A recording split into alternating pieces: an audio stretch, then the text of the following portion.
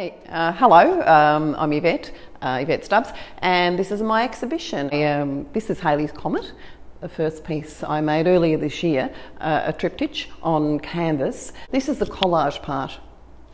Uh, it's acrylic and very textural piece. Is called Halley's Comet because she's a comet, uh, but she's also a bride. This is the bridal's veil. I've actually got quite an obsession on brides. I write plays about brides and I do paintings about them. This one is her veil, and the red symbolises the comet itself, and she's flying over the planet and through the sky. This work is called Borbor. It's from the old visitor's guide. All the pictures come from it, and it's collage. Uh, this is the archival print of that collage. I wanted to do prints because I loved the idea of reproducing and then colouring on top of the reproduction, and that's what this is. Uh, so this work is pajama pants. It's called pajama pants. It's this is on canvas board. This is a collage, the original piece. And collage for people who aren't quite sure of what it is, it's, it's just the cutting of paper. And colle, I think, is stick in French. Um, so it's sticking of paper onto work. So I do collage, but I also do mixed media, including acrylic and ink and pastel and so on. And that's, that's that. And this is the print that goes from that. And I love the fact that I could enlarge it and then hand colour that print as well.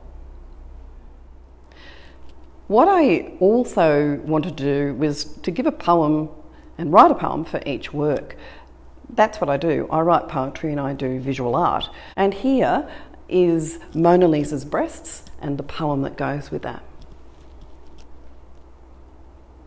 I carried these for you.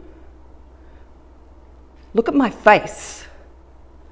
I carried these for you, these once your child's.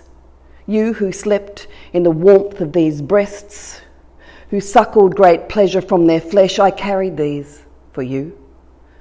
You who rolled your face and body in their soft cleft, fondled and play-dohed their shape into a cradle for your lust. I carried these for you. The man I trusted. I covered their largesse from other men's view.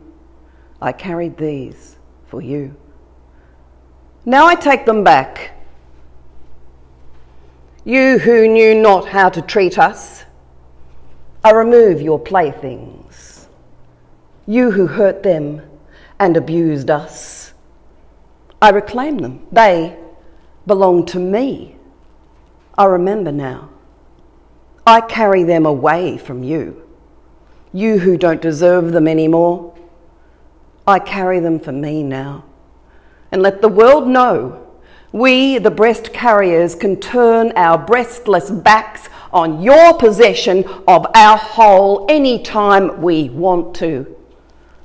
I no longer carry these for you. Thank you. Thanks very much um, for taking your time out to come and look at this exhibition. It's been a lot of work. It's exciting for me to share the work with you, so please come along and have a look, and thank you if you do.